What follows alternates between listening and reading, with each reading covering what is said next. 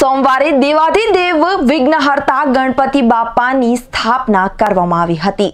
ત્યારે પલસાણાના ચલથાણ ખાતે જોરશોરથી ડીજેના તાલે ગણપતિ બાપાનું આગમન કરાયું હતું.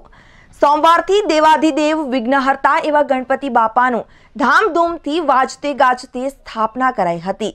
સુરતમાં પણ અનેક વિસ્તારમાં ગણપતિ મહોત્સવને લઈને અનેરો આનંદ છવાયો છે. તૈયારીઓને આખરી ઓપ અપાઈ ગઈ છે. અગિયાર દિવસ વિવિધ સાંસ્કૃતિક કાર્યક્રમો યોજાશે.